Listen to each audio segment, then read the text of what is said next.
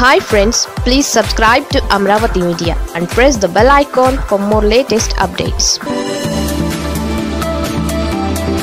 టీడీపీలో చంద్రబాబు ఏక్ నిరంజనేనా? కష్టం నుంచి సుఖం వరకు బాధ నుంచి దుఃఖం వరకు సాధించాల్సినవి ఎన్నో ఉంటాయి. దుఃఖం ఒక్కటే నాయకుల మార్పునకు కారణం కావాలి. కానీ ఇక్కడ ఓడిపోయాం అన్న బాధ కానీ దుఃఖం కానీ లేవు నాయకుల్లో. ఆ విధంగా వాళ్ళంతా ఇళ్ళకే పరిమితమవుతూ పార్టీని అర్థం చేసుకోవడం లేదు. అధినాయకత్వాన్ని అర్థం చేసుకోవడం లేదు. డెబ్భై ఏళ్ళ పెద్ద ఆయన వస్తున్నాడు జనంలోకి. అది కదా కావాలి. కానీ ఆయన స్థానంలో ఇతర నాయకులు ఉన్నారా? సందేహించాల్సిందే. ఓ విధంగా పెద్ద ఆయన కలలు మళ్ళీ నెరవేరాలంటే ఒక్క చంద్రబాబుతోనే సాధ్యం కావు. లేదా లోకేష్ బాబుతోనే సాధ్యం కావు. ఎవరైనా ఆత్మగౌరవాన్ని నిలబెట్టుకోవాలంటే ఆ పార్టీ ప్రతిష్టన పెంచే పనులు కొన్ని చేయాలి. ఇప్పుడు వైసీపీ బలంగా ఉంది. మూడేళ్ళ క్రిందట టీడీపీ బలంగా ఉంది. ఆ విధంగా పార్టీ తిరుగులేని విధంగా పాలించింది. రెండు వేల పంతొమ్మిది తర్వాత సీన్ మారిపోయింది.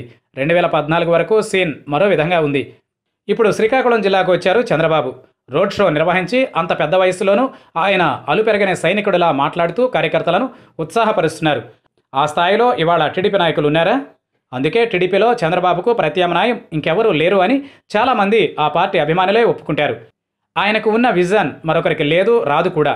క్రమక్రమంగా పార్టీ విధేయులు కూడా తగ్గిపోతున్నారు. కొత్త తరంలో ఎవరూ లేరు కూడా.